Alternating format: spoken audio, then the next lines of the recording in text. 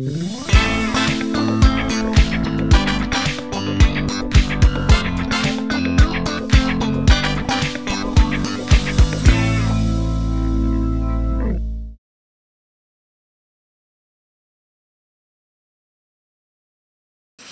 Dieser Mann kommuniziert durch Musik. 2019 kam er ins Finale des Vocation Music Award in Österreich. Von Österreich geht es jetzt in die Schweiz. Dort war er ein Jahr tätig, auch als Leiter der Musik bei Radio Maria Schweiz.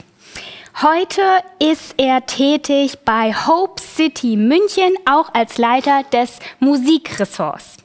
Letztes Jahr ist aber noch viel mehr passiert. Er durfte seine Traumfrau Elena heiraten. Er wird hier berichten, wie das alles zustande gekommen ist und seine Traumfrau ist auch dabei. Es gibt auch eine musikalische Einlage, also ihr dürft euch freuen auf Dr. Tobias Emanuel Meyer und seine Traumfrau Elena.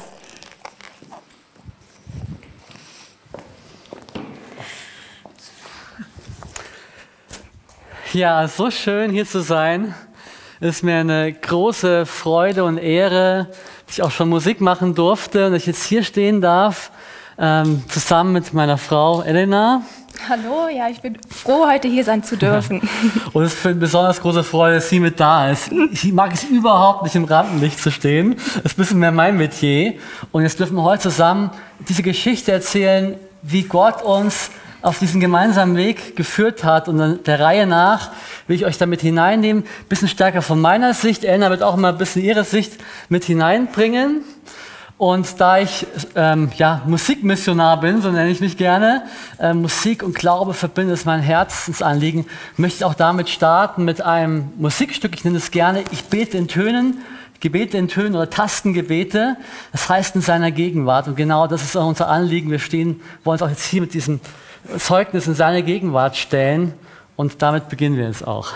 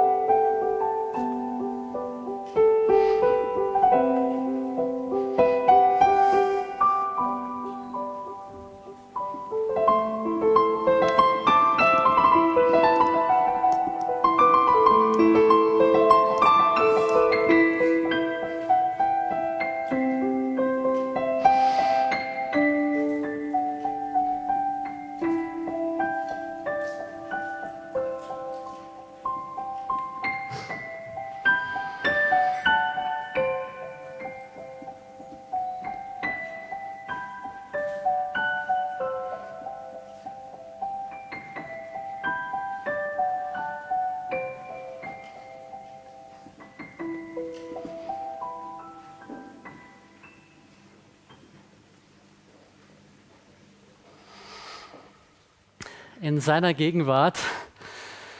Dort hat doch alles begonnen. Wir sind beide in einem christlichen Elternhaus aufgewachsen. Elna katholisch, ich freikirchlich. Und ähm, ich habe selber schon ganz früh ein starkes Bekehrungserlebnis gehabt. Ich war gerade neun Jahre alt und bin bei einer Evangelisation nach vorne gegangen und habe dieses Gebet dort nachgesprochen, diese Lebensübergabe, Jesus das ganze Leben zu geben. Und ich weiß noch heute, es war wie so ein Feuerbrennen durch meinen Kopf, vom Kopf durch den ganzen Körper. Auf einmal war da eine Riesenfreude da. Und seitdem dachte ich quasi, ich werde Missionar. Also ich möchte Glaube und Musik in die Welt tragen, einfach diese Liebe, die ich erfahren habe, weitergeben. Und so hat mich mein Weg dann auch ähm, musikalisch ins äh, Musikstudium geführt. Eine Zeit, äh, wo ich auch immer wieder nach äh, Berufung gefragt habe. Für mich war das ganz stark erstmal Jesus Punkt, Jesus allein, dieses, dieses Suche nach Wahrheit, die mich angetrieben hat. Und ich immer wieder auch gefragt habe, wow, Gott spricht auch heute noch. Das war so eine Erfahrung. Wenn es in der Bibel steht, dann glaube ich, ist es heute auch gültig. Und in dieser Zeit kam auch bald das Thema Beziehung. Es kam immer wieder mal rein. Immer wieder auch Kämpfe gewesen, immer mal wieder auch Tiefpunkte, weil es irgendwie da nicht, nicht gelungen ist. Und in, inmitten so einer Phase wieder mal, war, ich war Anfang 20 und habe wieder mal gedacht, oh Herr, boah, hilf mir da. Und war in einem, nach einem Gebetstreffen, hat mich dann jemand gefragt, du, kann ich, kann ich für dich beten? Und äh, ich sagte, ja, natürlich, gerne. Und äh, die Person, die für mich gebetet hat, hat auf einmal gesagt, sie hat einen Eindruck für mich. Ich sagte, okay, spannend, aha. Und sie sagte, sie glaubt, sie soll mir von Gott sagen, ich werde die Frau für dein Leben zu dir führen, du brauchst nichts zu tun. Ich dachte, hä, ich habe dir nichts erzählt, dass ich da gerade kämpfe in dem Thema. Und habe mal gefragt, wie, wie, meinst du, das ist da los? Ja? Und, ähm, und da hat sie nochmal gesagt, ähm, sie hat wirklich gesehen, wie ein Bild, wie Gott die Frau für sein Leben in seiner Hand hält, sie zu mir führt und ihre Hand in meine legt. Und dieses Bild hat mich auch weiter be beschäftigt, gar nicht nur auf das Thema Beziehung, sondern auch diese Frage, Gott immer alles hinzugeben wieder und zu sagen, Gott, hier sind meine leeren Hände, füll du. Und da habe ich die, die stärksten Sachen mit ihm erlebt, wenn ich gesagt habe, Gott, ich kann nicht mehr, du musst zeigen, was du drauf hast. Sehr gefährliches Gebet, kann ich euch nur sagen. Er liebt es zu zeigen, was er drauf hat. Und so bin ich diesen Weg weitergegangen und dann kam so die Sehnsucht nach Einheit dazu. Ja, zu dieser Suche nach Wahrheit, diese Sehnsucht nach Einheit.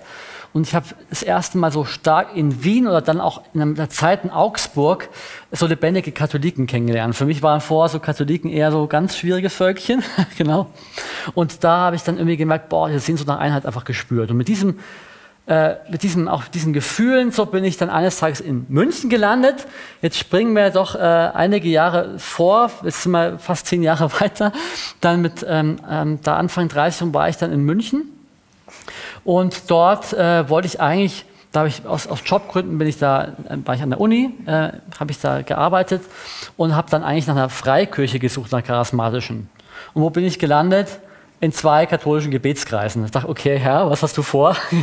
ähm, einer davon, noch ein Klostergebetskreis, Passionistengebetskreis, ich wusste erst gar nicht, was Passionisten sind, bin da mal hingegangen und bin hängen geblieben, war direkt da der feste Pianist und habe da auch meine, äh, meine, jetzigen, äh, meine jetzige äh, Gruppe kennengelernt, die Hope City, alles in dieser Zeit. Ja, zwei katholische Gebetskreise. Ich bin im Kloster Pasing dort, München-Pasing und beim, schon beim ersten Mal dort sehe ich die Elena, habe gleich gedacht, Wow, die spreche ich mal an. genau, Strategie vorbereitet, bin gleich mal hin, ähm, habe mit ihr geredet, meine Visitenkarte dabei gehabt und das Gott war so gnädig, sie hat einen Klavierlehrer gesucht. Ja, okay, da war ich.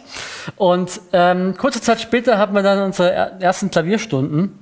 Und ich weiß noch beim ersten Mal, als ich dort war, sie hat in der WG gewohnt mit anderen Mädels. Ich habe die gerne die Betschwestern-WG genannt.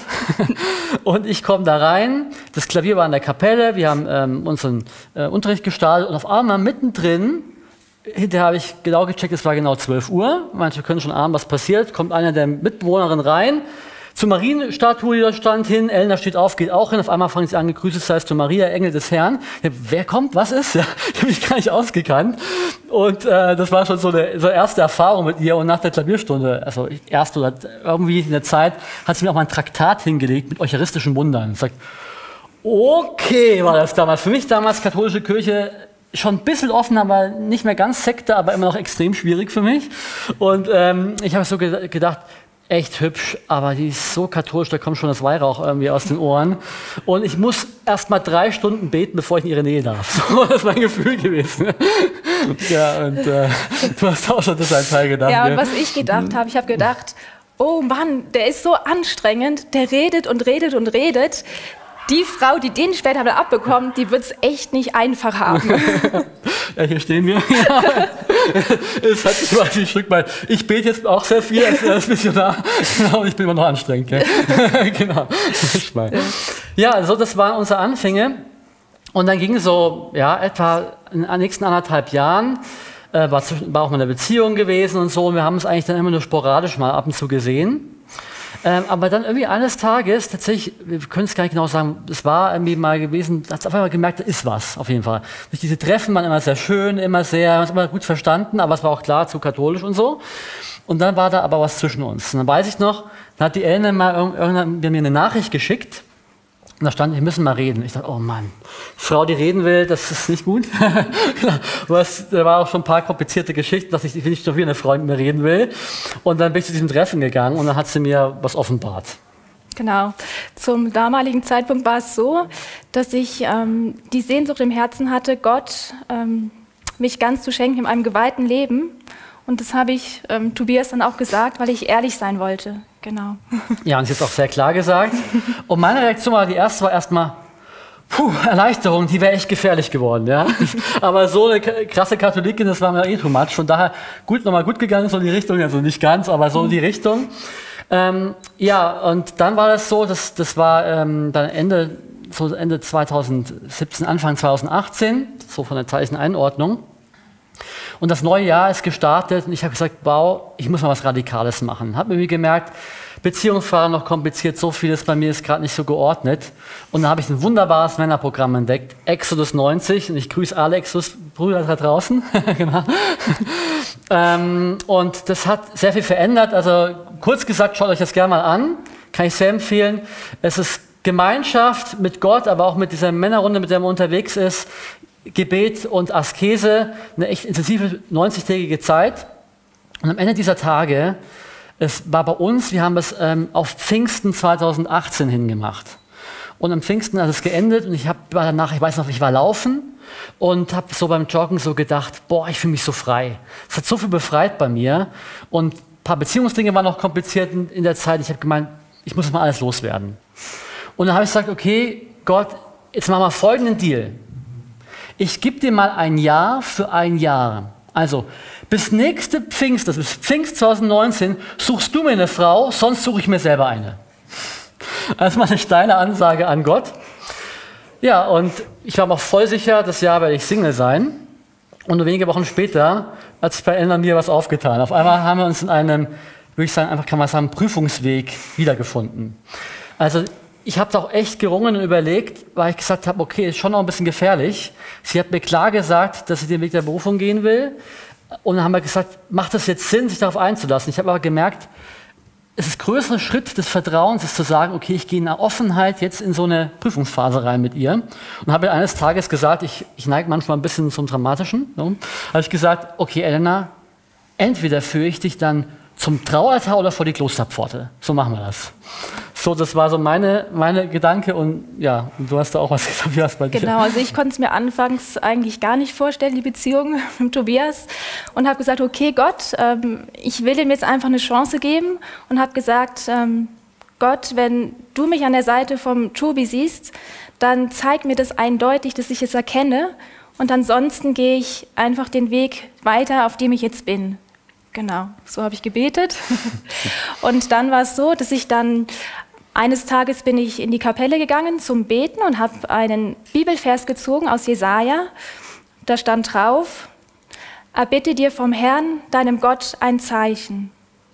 Und ich musste nicht lange überlegen, okay, was war gerade unklar, die Situation der Berufungsfrage. Und dann habe ich gedacht, okay, für mich wäre es ein Zeichen, also wenn der Tobi katholisch werden würde, und zwar durch Maria, dann wäre das für mich ein Zeichen, mit ihm gemeinsam den Weg zu gehen.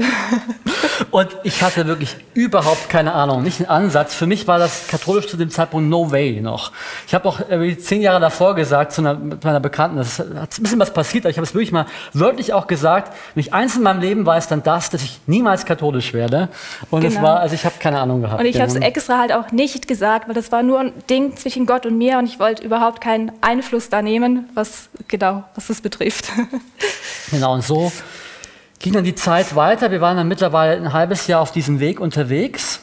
Und ähm, dann war Anfang 2019, das wusste ich, es ist noch ein halbes Jahr bis Pfingsten. Ich habe gedacht, m, langsam wird es fahrlässig fürs Herz. Wenn wir jetzt noch lange so weitergehen, dieser Offenheit, und es geht nachher schief, dann weiß ich auch nicht. Ja? Ähm, und dann habe ich gesagt, okay, Elena, folgendes. Jetzt wird mir klar, das muss Gott gemeint haben. Ich habe mir das Jahr geweiht, ich wusste, am Pfingsten 19 wird was Großes passieren. Dann sagt, das war's, genau mit der Frau, habe ich ja gesagt. Also habe ich gesagt, Elena, wenn du bis Pfingsten kein Jahr für mich hast, trennen wir uns. So, das war die Ausgangslage. Und dann haben wir gesagt, wir müssen aber auch unseren Teil tun, wenn Gott seinen tun soll. Und es war einmal, ich habe gesagt, ich tue einen Teil, und zwar, ich gehe wieder in diesen Klostergebetskreis, da war ich nicht mehr ganz so oft, da gehe ich wieder regelmäßig jede Woche hin. Und ich gehe eine Stunde vors Allerheiligste. Eine Stunde eucharistische Anbetung. Zu dem Zeitpunkt war das für mich so, irgendwie spüre ich da schon was. Ich dachte eher, Gott ist halt gnädig, die Katholiken glauben halt, da ist er halt, deshalb ist er auch dann doch ein bisschen stärker da. So in die Richtung war das für mich. Ah, Oder, aber ich wusste es nicht, vielleicht ist er doch mehr da. Ich setze mich dem aus und frage Gott, bist du da? Und stelle ihm diese Frage auch des Weges. Und dann hast du auch was, äh, du Genau, was ich habe mir auch bewusste Auszeiten genommen, um in die Stille zu gehen und einfach hinzuhören, was Gott möchte. Und ähm, bin in einen Wallfahrtsort gefahren und auch mal in den Kloster und da in der Gemeinschaft mitzuleben und zu schauen, ob das was für mich ist. Ja, und das, genau, das dritte war was Gemeinsames, dass wir gemeinsam auf so Paarexerzitien fahren. Und da haben wir uns vorgenommen, die sollten jetzt nicht ganz direkt äh, vor Pfingsten sein, besser so vier, fünf Wochen vorher, dass wir die letzten vier Wochen noch ein bisschen unseren Kontakt auf reduzieren, um mehr hinhören zu können. Ja, und das war dann ähm, Anfang Mai, waren dann diese Paarexerzitien, Anfang Mai 2019. Und ich dachte so, ähm, ja, das ist, äh, da prüfen wir auch das einzige Paar, was noch die Beziehung eigentlich geprüft hat. Die anderen waren entweder verlobt, verheiratet oder wussten es. Und ich war auch der einzige Freikirche, also das ist ja speziell. Und ich dachte, ich komme Elna näher. Aber Gott hatte ganz andere Pläne gehabt dort mit mir. Ähm, ist eine eigene Geschichte, aber äh, so kurz gesagt, ich kam da schon an. Am ersten Abend sollte man schon auf einen Zettel aufschreiben, was man Jesus in diesen Tagen geben will. Und ich habe ihm aufgeschrieben, Gott, ich gebe dir alles, ich gebe dir mein Leben, ich gebe dir meine Liebe, ich gebe dir auch die, die Elena ganz und auch unseren Weg. Und ich wünsche mir einfach, dass wir in die tiefstmögliche Liebe kommen, unabhängig davon, ob es jetzt ein gemeinsamer Weg ist oder ob es der andere Weg ist, habe ich in aller Offenheit gebetet. Und innerlich hatte ich dann so einen Ohrwurm gehabt, ein Lied, was extrem penetrant immer die Frage gestellt hat, bist du bereit, alles hinter dir zu lassen? War ständig in meinem Ohr. Und so sind wir dann vors Allerheiligste gegangen, man ist immer paarweise vor, hat sich da hingekniet und es Gott gebracht und da hat es irgendwie angefangen, schon mit mir zu arbeiten. Als wir dann später wieder ähm, nochmal später auf dem Zimmer waren die Eltern mir ähm, was erzählt hat, äh, draußen vor der Kapelle eben, ähm, hat sie mir einen Vers hat sie gezogen für uns. Und der Vers hat dann voll, voll reingeschlagen, weil das war 1. Korinther 13, 13, das Größte ist die Liebe. Und das hatte ich ja gerade Gott äh, auf den Zettel geschrieben. Und in dem Moment, als ich es ausspricht, spüre ich innerlich, dieses Lied wird immer lauter, bist du bereit? Und auf einmal sage ich zu Gott, nein, ich bin mir nicht bereit. Und auf einmal, was mache ich da? Und auf einmal kam so, du hast mir gesagt, du gibst mir alles. Also, gib mir die, gib mir die Liebe, gib mir Ehe, gib mir Familie. Ich sage, Gott, wir haben gesagt, alles kannst du haben, das kann ich dir nicht geben. Sag, Gott, sagt es nochmal gesagt, gib mir alles. Und dann habe ich, hab ich gesagt, okay, in dem Moment konnte ich irgendwie sagen, okay Gott, ich gebe es dir. Und in dem Moment habe ich wie äh, Verlustschmerz gespürt und einen priesterlichen Ruf. Richtig krass, ich habe angefangen zu weinen. Ich habe zu Elena gesagt, ich, ich pack's nicht. Ich bin Freikirche, ich bin Ruf, ich ver verstehe die Welt nicht mehr. Es war der erste Abend, der schon reingeschlagen hat. Und am nächsten Tag waren wir beide bei eucharistischen Anbetung, knieten vorm Herrn. Ich, ich, direkt an ihrer Seite, sie hat so meine Hand genommen und ich schaue nach vorne zum Herrn und auf einmal spüre ich einen tiefen Frieden und jetzt bist du an der richtigen Stelle, da, da gehörst du hin. Ich spüre wie ein Zuhausegefühl und sage noch zu Gott, also ich spüre immer noch einen priesterlichen Ruf, aber ich, ich will auch die Ehe. Wie geht das zusammen, priesterlicher Ruf und Ehe? Ich weiß nicht, aber ich glaube, du hast einen Weg. Und dann am letzten Tag dieser Exerzitien hat Gott mir echt eine Antwort gegeben. Und zwar äh, war ein Vortrag zum, zum Thema Ehe aus katholischer Sicht, äh, Theologie des Leibes. Und da war ein Satz, der hieß, das Ehebett ist wie der Altar. Und ich dachte, wie krass, dann haben sie es noch erklärt. Also so in der Kommunion, jedes Mal erneuere ich das Sakrament. Und das Gleiche passiert in der Ehe, in der Vereinigung zwischen Mann und Frau. Jedes Mal wird das Sakrament erneuert. Auf einmal checke ich, wie krass diese Würde hat die Ehe aus katholischer Sicht. Das, wie sich der Herr durch den Priester mir leiblich schenkt. Dasselbe passiert in der Ehe. Ich sage, das ist ja absolut krass. Da habe ich aufgeschrieben, hey, das ist ja so, das ist ja, alles andere kann man ja vergessen im Vergleich. Und schreib auf, priesterlicher Ruf und Ehe geht ja doch aber nur im Katholischen. Ich gucke so hin, hä, was schreibst du da auf? Voll ertappt dabei, denke, was ist das denn? Und auf einmal hat Gott mir alle Sakramente ausgelegt. Auf einmal habe ich Eucharistie gecheckt, ich habe Maria gecheckt. Und zwar in dem Moment, als würde mein Glaube einen Körper bekommen. Ich kann es nicht anders beschreiben. Ich war so im Kopf, auf einmal dieser, dieser Raum ging auf. Und Gott hat noch eins draufgesetzt. Wir waren dann beim Mittagessen und es kam ähm, eine junge Frau dazu, die war da als Babysitterin dort äh, nur ein paar Stunden zu Besuch und hat mitbekommen, ich bin Freikirchler und hat dann mir ein Gespräch gesucht äh, und einfach wissen wollen, warum, ich das, warum wir Freikirche so ein Problem haben mit der eucharistischen Anbetung, solche Dinge. Dann habe ich ein bisschen darüber erzählt und nachher haben wir einfach zusammen gebetet. Ich habe für sie gebetet, habe auch so ein bisschen meinen Weg auch erklärt, habe noch gesagt, ah ja, für mich war, ähm, also wie das Katholische für mich war und wie ich mich einfach geöffnet habe dem Ganzen. Und dann ähm, bete ich für sie ein, und bekomme ein Bild.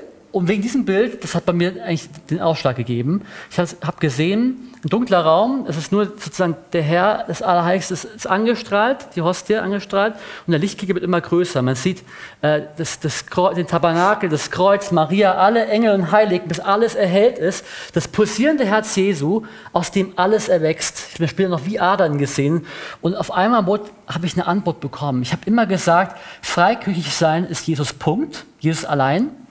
Und katholisch sein ist Jesus und, um Maria und alles mögliche Zeug. Und ich wollte Jesus Punkt. Und auf einmal ist Folgendes passiert. Aus dem Jesus Punkt wurde Jesus Doppelpunkt. Es geht alles um Jesus, aber er lädt in die ganze Fülle ein. Und da hat er mich eingeladen und ähm, ja, kurz gesagt, äh, ich bin dann nur vier Wochen später bin ich am Pfingstsonntag genau an jedem, jedem Tag, den ich gesetzt habe, in der Heiliggeistkirche, das war dieser Ort, wo ich jetzt auch arbeite, da bin ich katholisch geworden. Und ja, so war eigentlich dann auch eine Antwort für die Frage eigentlich. Ja, also ich habe das dann schon ähm, registriert, dass der Tobi katholisch geworden ist, aber das war, äh, ist es irgendwie nicht angekommen im Herzen. Also das war das einfach nicht so da. Ich habe es nicht begriffen, wirklich. ja, und äh, das ging ich muss es jetzt alles machen, aber es ging echt Schlag auf Schlag weiter.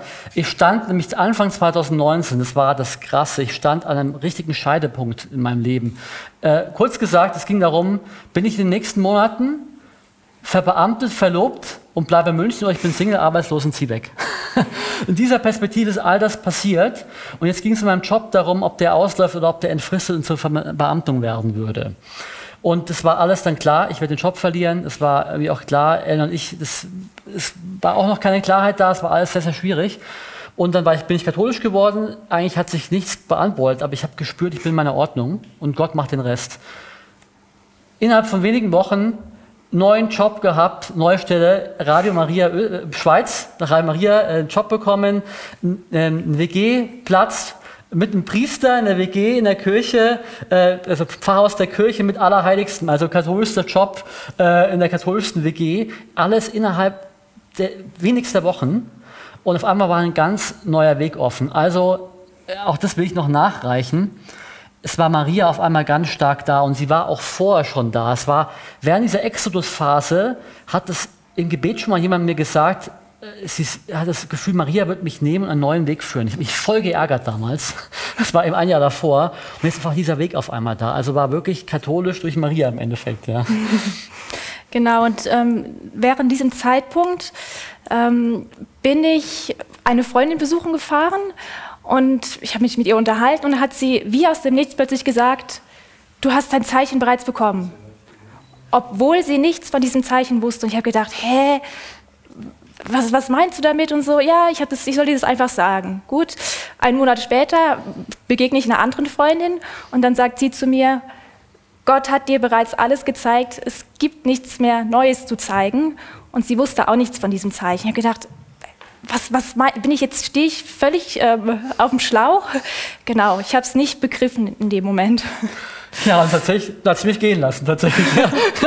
Im September. Was war aber auch wichtig war. Das war wichtig, definitiv. Ich, ich, musste alles verlassen. Es war wirklich wie ein Ruf in die Wüste. Es war wirklich dieses wahre Exodus raus.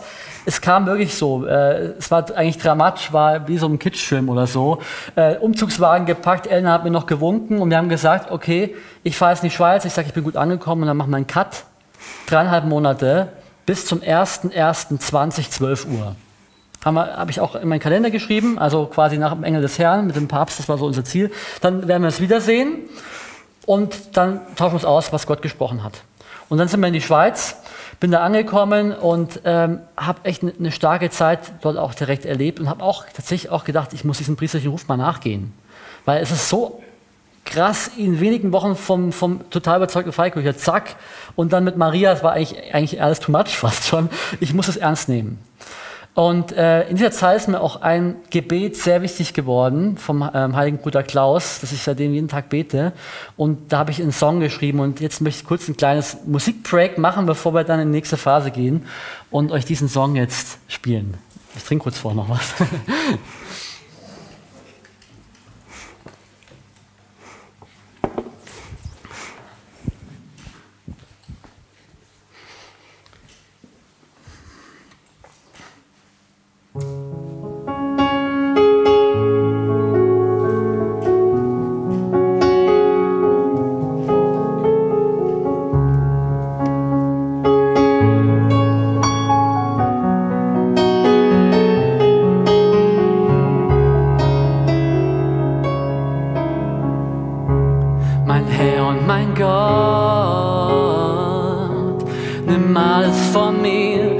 mich hindert zu dir, mein Herr und mein Gott. Nimm alles von mir, was mich hindert zu dir, mein Herr und mein Gott. Gib alles mir, was mich führe zu dir, mein Herr und mein Gott. Alles mir, was mich führe zu dir, was mich führe zu dir, was mich führe zu dir, was mich führe zu dir, was mich führe zu dir, was mich führe zu dir, was mich führe zu dir, was mich führe zu dir, was mich führe zu dir, mein Herr und mein Gott. Nimm mich mir, nimm mich mir und gib mich ganz zu eigen dir, mein Herr und mein Gott. Und gib mich ganz zu eigen dir, gib mich ganz zu eigen dir, gib mich ganz zu eigen dir, gib mich ganz, nimm mich ganz, ich geb mich ganz zu eigen dir.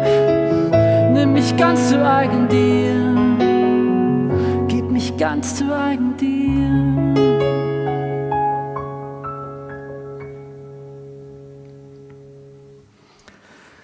Ja, das war mein Gebet, das war meine Frage, Gott, was sind deine Pläne? Und so die ersten Wochen sind so dahin gegangen und ich habe die Eltern wirklich auch ganz abgeben können und mich ganz auf diesen Weg dort einlassen äh, können. Und dann ist einfach was passiert, was ich krass fand. Ich habe angefangen, von Elena zu träumen. Und zwar nicht einmal, sondern innerhalb von zehn Tagen fünfmal. Und ich habe in der Zeit auch irgendwie geahnt, wow, ich wollte eigentlich wissen, wie es ihr geht zumindest. Ich habe gesagt, nein, kontaktiere sie nicht kontaktiere auch ihre beste Freundin. Ich sage, ich Gott, ich will irgendwas tun. Ja, okay, ich habe gesagt, Gott, ich gebe dir 40 Tage. Ja, so lange kann ich es noch schaffen, so die Richtung. Ähm, sprich zu mir. Und in der Zeit kam mein Mitbewohner zu mir, meinte zu mir, du kennst du schon die, An die 30-tägige Andacht zum heiligen Josef? Ich dachte, nee, keine Ahnung, Frischkatholik noch, gell, noch nicht alles gekannt. Okay, ich lasse mich mal drauf ein ziemlich starkes Teil, also kann ich auch allen sagen, sehr ans Herz legen. Also ich äh, bin mal überrascht, wie katholisch ich da schon war. Also wirklich direkt, Heiliger Josef. Und derzeit ist dann wirklich, äh, hat sich einfach, habe ich alles reingelegt, habe auch gemerkt, ich habe nicht diesen, Priester, diesen Ruf zu diesem Art von Priester, sondern Priester der Familie. Und ähm, habe das weiter einfach weiter verfolgt und immer wieder auch Zuspruch bekommen. Und dann gab es tatsächlich ein Ereignis. Ähm, ich bin nach München gefahren ähm, da hatte ich ein Treffen und habe eigentlich ziemlich geahnt, weil ich auch in dem Gebetskreis, wo wir uns kennengelernt haben, äh, auch ausgemacht habe, ich da kurz mal erzähle, wie es mir so ergangen ist und habe geahnt, wahrscheinlich treffe ich sie dort. War mir nicht sicher Auf dem Weg dachte ich nochmal gut vorbereiten, noch die Novene zur Knotenlöserin gebetet. Also sehr katholisch, ja. Und äh, auf dem Weg schon war der sechste Tag der Knotenlöserin. Da hieß es so, du musst mir auch die Zeit geben, den Knoten zu lösen. Und ich wusste, sie ist nicht da. Ich habe es einfach irgendwie gewusst, sie wird nicht da sein. Ich komme hin, sie war nicht da. Erfahre aber von ihrer besten Freundin, erfahre ich, sie ist gerade im Kloster Maria Schutz. Okay, ich sage, okay, muss ich so hinnehmen. Habe aber in der Zeit echt immer die Gnade gehabt, dass nach Novenen Gott immer was getan hat bei mir im, ersten Jahr, ich katholisch war. Und ich wusste, an diesem neunten Tag ist der Sonntag, wo ich zurückfahre, nach München zurückfahre, äh, von München nach Zürich zurückfahre, da wird was passieren. Und dann ähm, bin ich nach Hause gefahren, komme zu Hause an, war jetzt nichts Spektakuläres, äh, groß passiert. Ähm, und dann ähm, äh, treffe ich meinen Mitbewohner und erzählt mir, ja, er wird jetzt in Urlaub fahren. Am nächsten Morgen haben wir uns getroffen, aber er fährt irgendwie jetzt in die Urlaub. Sagt, aha, okay, schön, wo geht's denn hin? Ja, zuallererst fahre ich jetzt in das Kloster Maria Schutz nach Österreich. Was? Wo Moment? Genau da, wo Elena genau zu diesem Zeitpunkt ist. Und ähm, ja, und dann habe ich auch noch erfahren von ihrer, ihrer besten Freundin, sie hat mir das noch erzählt, dass die Elena auch die Knotenlöserin betet. Und zwar das erste Mal in ihrem Leben, fast zeitgleich. Es war nur wenige Tage verschoben. Dann hast du auch meinen Mitbewohner noch getroffen, gell? Genau, dann bin ich ähm, in Österreich dem ähm, Schweizer Mitbewohner vom Tobi begegnet und war natürlich neugierig, habe ihn erstmal gefragt, wie geht's dem Tobi und so. genau, und ähm, in dieser Zeit, ich war zehn Tage dort, hat mich ähm, besonders ein Vers oder eine Textstelle aus dem Buch der Weisheit begleitet. Ich habe ganz am Anfang einen Bibelvers gezogen aus dem Buch der Weisheit und den möchte ich jetzt gern mit euch teilen, mal vorlesen. Ja, ich habe ihn da. Genau, äh, ich hoffe, er wird jetzt gezeigt. ah, da ist er schon, perfekt. Denn welcher Mensch kann Gottes Plan erkennen oder wer begreift, was der Herr will? Unsicher sind die Überlegungen der Sterblichen und einfältig unsere Gedanken. Wir erraten kaum, was auf der Erde vorgeht und finden nur mit Mühe, was auf der Hand liegt. Wer ergründet, was im Himmel ist? Wer hat je deinen Plan erkannt, wenn du ihm nicht Weisheit gegeben und deinen Heiligen Geist aus der Höhe gesandt hast. Genau, und habe ich gedacht, ja klar, da steht's geschrieben. Gott, ich brauche deine Weisheit, ich erkenne ja kaum, was, was, was vor mir liegt und ich, ich brauche deine Hilfe und habe täglich einfach um, um die Weisheit Gottes gebeten und gefleht. Ja, ich habe auch gefleht tatsächlich. War so richtig so ein Punkt, wo ich, ähm, eines, ich weiß, es war um den dritten, dritten Advent herum, bin ich wirklich auch mal auf die Knie gegangen, habe gesagt, Gott, also ich muss dazu sagen, ich habe kurz davor erfahren, also wir hatten indirekt Kontakt äh, über die beste Freundin, um einfach auszumachen, wann wir uns wiedersehen.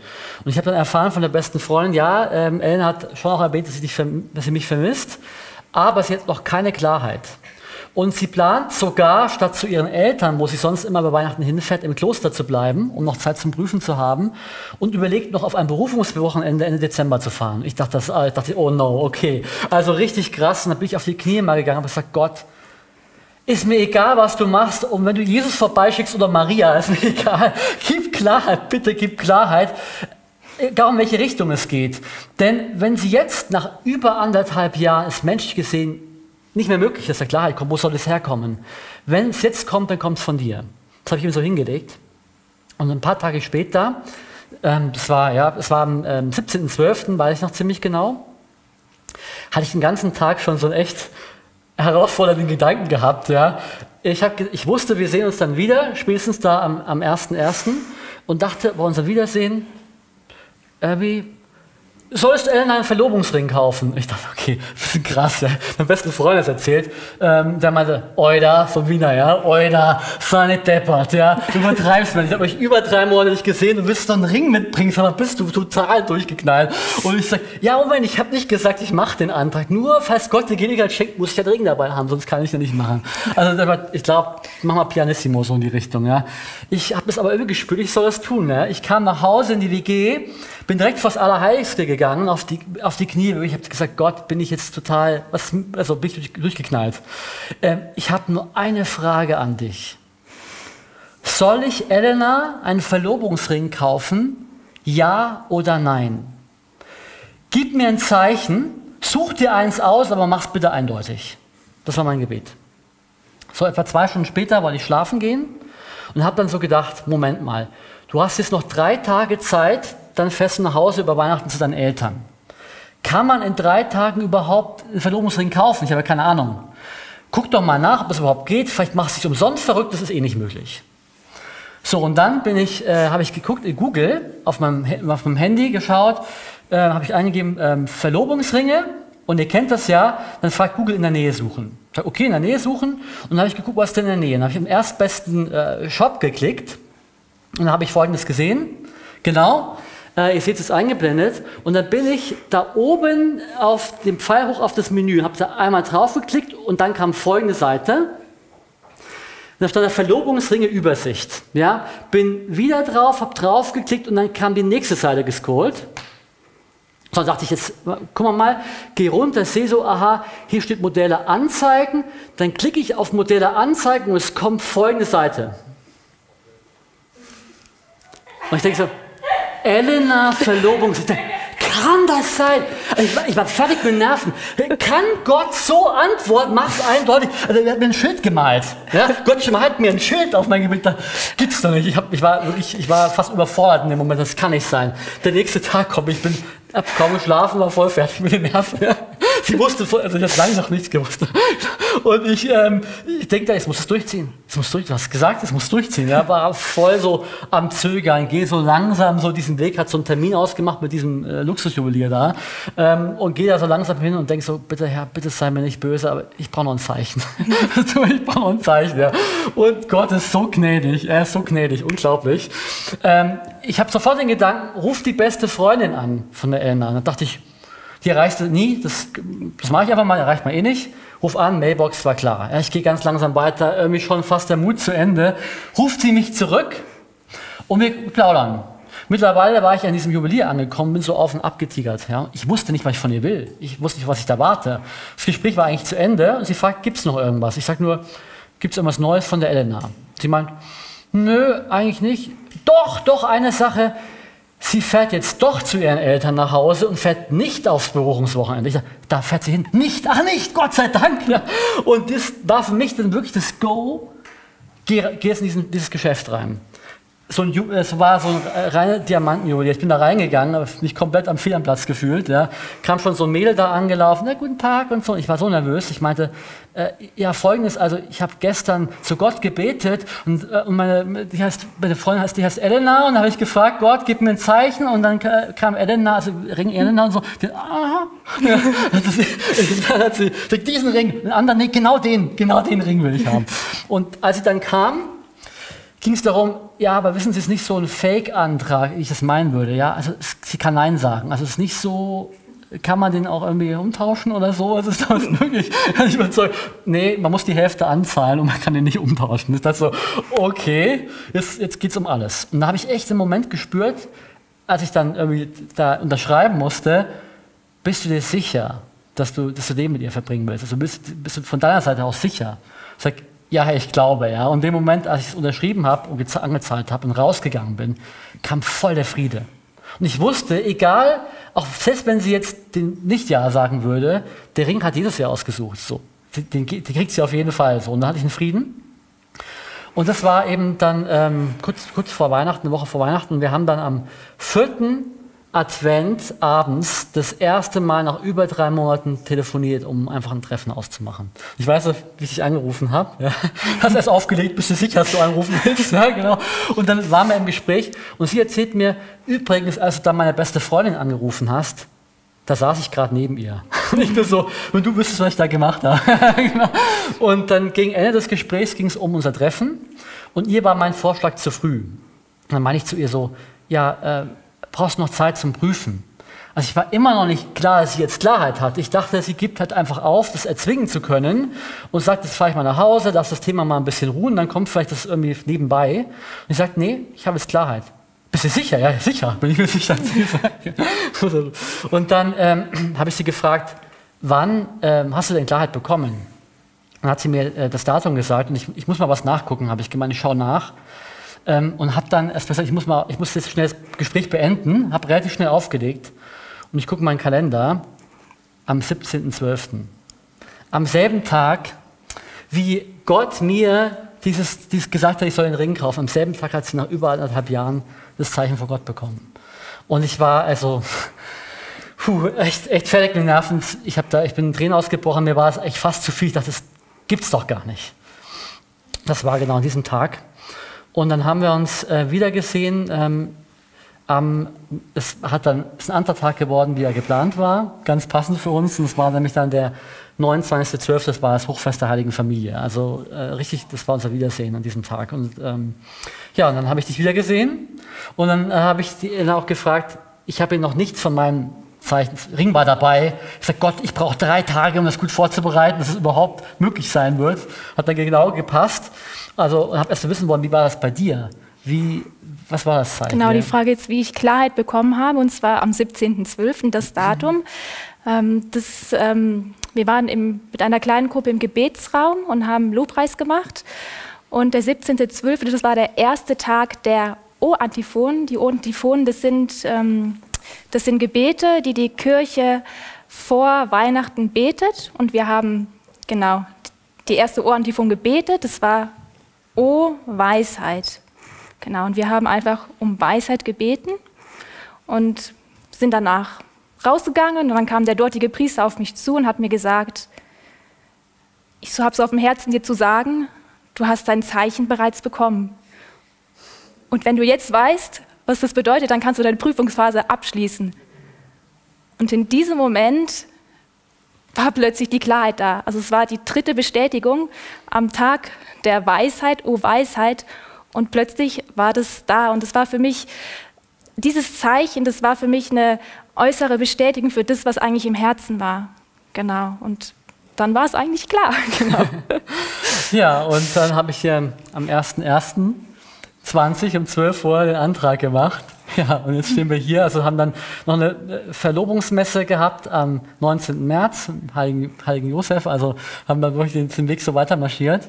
Und ähm, dann haben wir letztes Jahr, also vielleicht muss ich noch einschieben, dann gab es noch einen, einen Rückumbruch. Ich hatte ja alles verlassen, bin in die Schweiz, das muss ich noch kurz einschieben. Und dann ist, hat sich der Weg nach München aufgetan. Auf einmal stand auch der Weg, Weg einer, auch einer ähm, beruflichen Berufung, sage ich mal, im Raum, nämlich Vollzeit in Vollzeitdienst zu treten als, ich sage gerne, Musikmissionar ähm, bei der geistigen Gemeinschaft, wo ich jetzt eben bin, bei der Hope City. Und das alles ist da auch noch passiert. Ich bin dann zurück nach München. Also Gott hat alles, was ich verloren habe, was ich was losgelassen habe, Job, meine, meine geistige Heimat, äh, die Stadt, vor allem auch, auch die, die Elena, mir alles zurückgeschenkt. Und dann hatten wir ähm, am 12. Juni Hochfest der, der, Vereinigten Herzen Jesu Mariens. 11. Juni war das Hochfest, Herz Jesu Hochfest. Das haben wir auch den, den Vereinten Herzen haben wir unsere Ehe geweiht. Und äh, da haben wir noch ein großes Geschenk auch erfahren.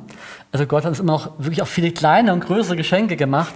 Wir mussten aufgrund von Corona eigentlich splitten. Das heißt, wir haben die Trauung am 12.06. geplant und die Feier eigentlich dann nochmal deutlich später, auch am anderen Ort.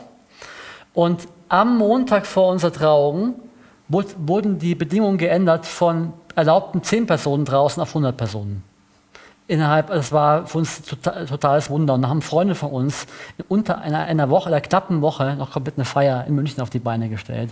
Also war ein Riesengeschenk.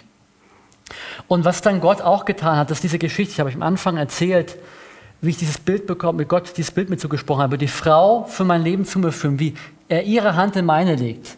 Und welche Frau kann er mehr zu mir führen als eine, die sich ihm versprochen hat? So also war es ja, ja bei dir, so war es bei Elena.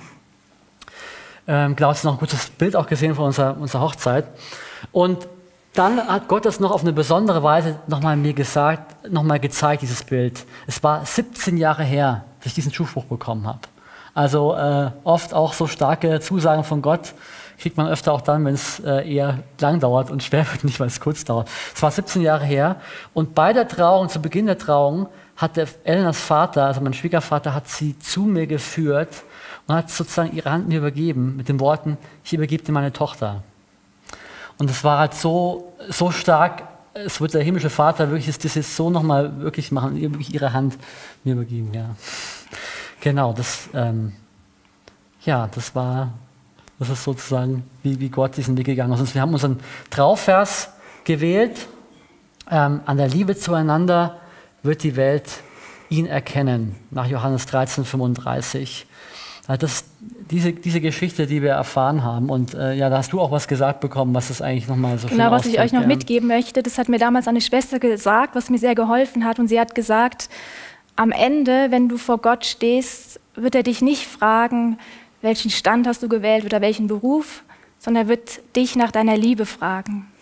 Ja, und um die Liebe, da geht es. Und das ist, was wir seit jedem Tag auch versuchen, da mehr drin zu leben. Und ich möchte es auch einfach jedem von euch jetzt auch sagen. Gott tut heute noch Wunder. Er spricht, er spricht aber auch ganz unterschiedlich. Im Herzen, mal durch Zeichen, mal einfach durch was anderes. Aber manchmal, das Wichtigste ist einfach immer da. Egal welchen Weg ihr weht, egal wo ihr hingeht, er geht mit euch an, eurer Seite mit. Und ähm, wünsche ich so sehr, dass wir immer mehr in diese Liebe hineinkommen, zu, zu ihm, zu uns selbst und zueinander, damit seine Liebe aufstrahlen kann in dieser Welt. Und ja, so wollen wir das Ganze jetzt nochmal beschließen mit, mit einem Lied, Sei nicht strahle auf, wo das einfach nochmal ausdrückt.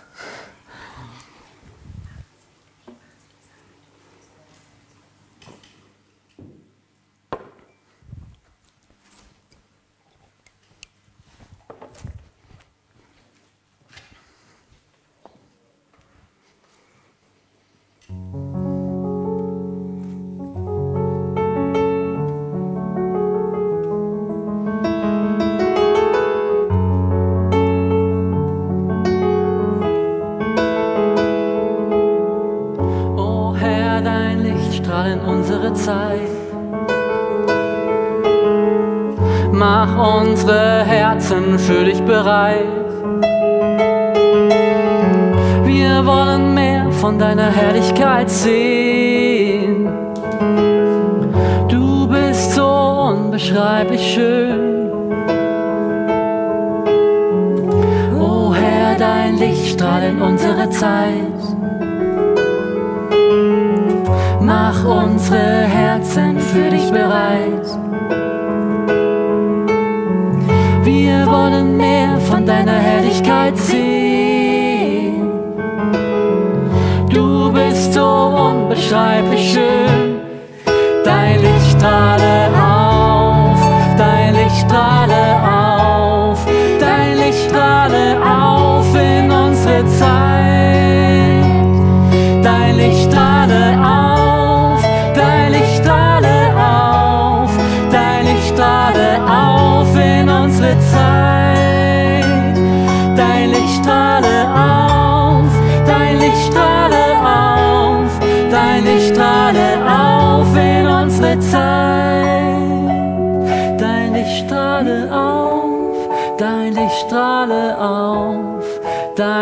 strahle auf in unsere Zeit.